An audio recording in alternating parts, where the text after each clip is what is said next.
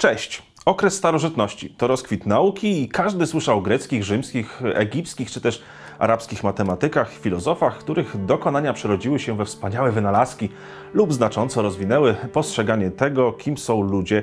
Choć wiele osób kim wie, kim był Platon, Arystoteles czy też Euklides, to niewielu zna Hypatię z Aleksandrii. Uczona została zapamiętana przez historię jako pierwsza męczennica zabita przez radykalnych chrześcijan. Zapraszam na materiał.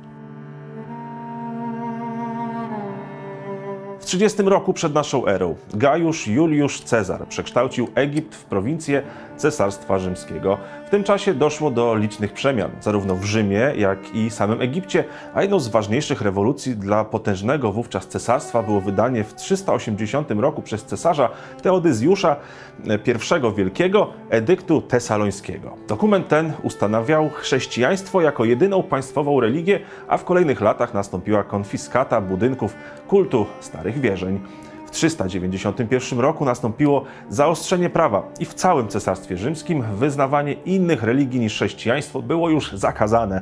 Osoby, które nie chciały się przystosować, były nazywane heretykami, poganami, co otworzyło drogę do licznych pogromów. Prześladowani nie pozostawali dłużni, e, organizując zrywy przeciwko chrześcijanom, a walki pomiędzy obydwoma frakcjami toczono w całym cesarstwie. Dotyczyło to również wielokulturowej Aleksandrii, ówczesnej stolicy Egiptu, która przez stulecia była ostoją badaczy i naukowców gromadzących wiedzy, wiedzę o Bibliotece Aleksandryjskiej. To właśnie w 391 roku doszło do jej ostatecznego zniszczenia przez. Tak parabolan, czyli przedstawicieli najniższej klasy duchownych w starożytnym chrześcijaństwie. W przeszłości zajmowali się oni chorymi podczas epidemii i grzebali zmarłych, jednak wraz z rosnącą popularnością chrześcijaństwa i ustanowieniem jej jako głównej religii w Cesarstwie Rzymskim, prabolanie stali się zbrojnym ramieniem ówczesnych patriarchów e, mieszkających w Aleksandrii, którzy niszczyli budynki sakralne innych religii, i walczyli z poganami. Jedną z ich najsłynniejszych ofiar była właśnie Hypatia z Aleksandrii, matematyczka i filozofka, która cieszyła się sporą popularnością w swoim rodzinnym mieście. Mimo wpływowych znajomych, jak cesarski namiestnik Egiptu Orest, nie udało jej się uniknąć tragicznego losu. Urodzona w 355 roku Hypatia była córką Teona z Aleksandrii, ostatniego zarządcy Biblioteki Aleksandryjskiej, który specjalizował się w astronomii, matematyce oraz filozofii. Hypatia i jej ojciec zdawali sobie sprawę, że liczne osiągnięcia greckich, rzymskich i aleksandryjskich uczonych łatwo ulegają zapomnieniu, dlatego też przekazywali oni tę wiedzę właśnie w celu utrwalenia. Oprócz prowadzenia zajęć dla swoich uczniów, Hypatia i jej ojciec zajmowali się przepisywaniem, dokumentowaniem oraz ponownym wydawaniem dzieł innych starożytnych uczonych. Demaskios w swoim dziele Historia filozofii tak pisał o Hypatii i jej ojcu. Ludzie ich kochali i mieli o nich wyjątkowo wysokie mniemanie.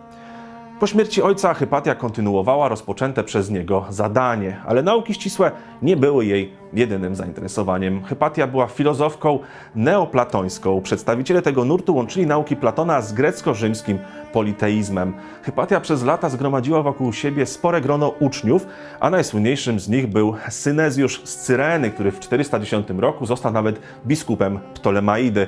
Choć sama Hypatia została uznana przez ówczesny kościół za pogankę, wśród jej uczniów znajdowały się także osoby o wyznaniach chrześcijańskich.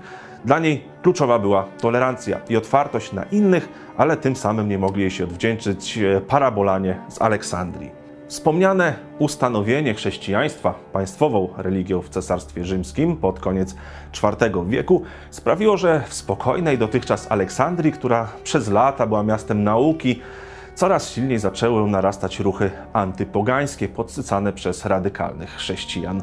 Według zapisków historycznych ich uosobieniem był Cyryl, który w 412 roku został biskupem Aleksandrii. Szybko popadł on w konflikt z cesarskim namiestnikiem Egiptu Orestem, a jego znajomość z szanowno, szanowaną wtedy w Aleksandrii Hypatią tylko podsycało rządzę władzy Cyryla. W całym tym konflikcie pomiędzy Orestem a Cyrylem można wyróżnić dwa takie punkty zapalne. Pierwszym było podburzenie przez biskupa mnichów z klasztoru Nitri, którzy zaatakowali namiestnika. Orest podczas starcia został ranny w głowę, a mnich, który tego dokonał, został potem poddany torturom i zabity. Drugim ważnym wydarzeniem było wypędzenie Żydów z Aleksandrii przez Parabolan i towarzyszących im radykalnych chrześcijan, co było poprzedzone licznymi starciami ulicznymi pomiędzy obydwoma grupami. Ostatecznie tłum chrześcijan wtargnął do dzielnic żydowskich Aleksandrii, wygnał mieszkańców i ukradł ich majątek. Orest nie był w stanie podjąć działań przeciwko chrześcijańskim radykałom, a kolejnym wrogiem na liście biskupa Cyryla była Hypatia, która potępiała pogrom Żydów e, oraz twierdziła, że władza powinna zostać w rękach świeckich, co zostało wtedy jednoznacznie odczytane jako wsparcie dla Oresta. To nie spodobało się oczywiście Cyrylowi, który zaczął podbudzać, podburzać fanatyków religijnych w Aleksandrii przeciwko Hypatii. Biskup sugerował wręcz, że kobieta szerzy antychrześcijańskie nauki, zwodząc tym swoich uczniów i samego Oresta. W 415 roku grupa chrześcijańskich radykałów ostatecznie napadła na powóz, w którym jechała Hypatia. Z zapisków Sokratesa Scholastyka wynika, że napastnicy, których przywódcą był Piotr Lektor, pochwycili uczoną i zaciągnęli ją do kościoła Cesareum. Tam obdarli kobietę z szat, wyłupili jej oczy, a następnie zabili fragmentami glinianych skorup i rozczłonkowali jej ciało, które później jeszcze spalono. Tak brutalne morderstwo nie pozostało bez echa i wywołało ogromne poruszenie w całym cesarstwie rzymskim. Ostatecznie jednak nikt nie został skazany. Sam biskup Cyryl pełnił swoją funkcję do śmierci w 444 roku, a przez stulecia uznawany był za, przez Kościół za jednego z najwybitniejszych teologów i egzegetów w dziejach chrześcijaństwa. Jego wizerunek zmienił się przez badania z okresu oświecenia oraz późniejsze prace historyków, jednak nadal w historii chrześcijaństwa jest on zapamiętywany jako postać wręcz wybitna. I przez lata Hypatia była uznawana za postać paradoksalnie mitologiczną, a nie historyczną. Jednak obecne badania potwierdzają jej istnienie oraz e, dokonany na niej mord. Krzywda, jaką ją spotkała ze strony chrześcijan, stała się w okresie oświecenia jednym z argumentów przeciwko Kościołowi. W kolejnych latach wizerunek aleksandryjskiej uczonej był też ważnym fundamentem rodzących się ruchów feministycznych które postrzegały Hypatię jako ofiarę męskich wzorców ucisku. Historycy wskazują natomiast, że morderstwo Hypatii miało przede wszystkim podłoże polityczne, ale nie bez znaczenia była też nienawiść biskupa Cyryla do aleksandryjskiej uczonej. To zostało dobrze uchwycone w filmie Agora z 2009 roku, gdzie w rolę Hypatii wcielała się Rachel Weisz. I ten film możecie sobie obejrzeć, ja polecam go również.